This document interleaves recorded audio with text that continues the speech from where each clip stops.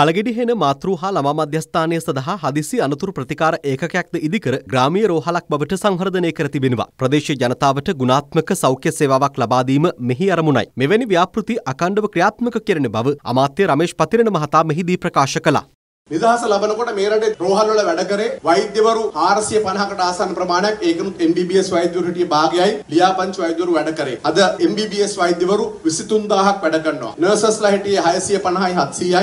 අධ්‍යාපනය දියුණු වෙලා, සෞඛ්‍ය දියුණු වෙලා, පාරවල් දියුණු වෙලා, ගෙවල් 105කට විතරක් තිබිච්ච විදුලිය 199කට ලැබිලා, ජනගහනය වගේ තුන්ගුණයක් දෙගුණයක් දුරකථන ලැබිලා අතිවිශාල භෞතික සම්පත් සංවර්ධනයක් වෙලා තියෙනවා. මේ රටේ ආර්ථික අර්බුදයක් ඇති වෙලා ගත්තු ණය ගෙවා ගන්න බැරිව අපේ රට අර්බුදයට පත් වුනහම මේ රටේ සමහරක් අකෘතඥ මිනිස්සු කියන්න පටන් ගත්ත 75 වසරක සාපයක් ගැන. මේ රටේ වෙච්ච වැරද්දට පාලකයෝ වග කියන්නට ඕන නම් මේ රටේ වෙච්ච 1000ක් හොඳ දේවල් වලට ගෞරවය ලැබෙන්නත් ඕන ඒ අයට නේද?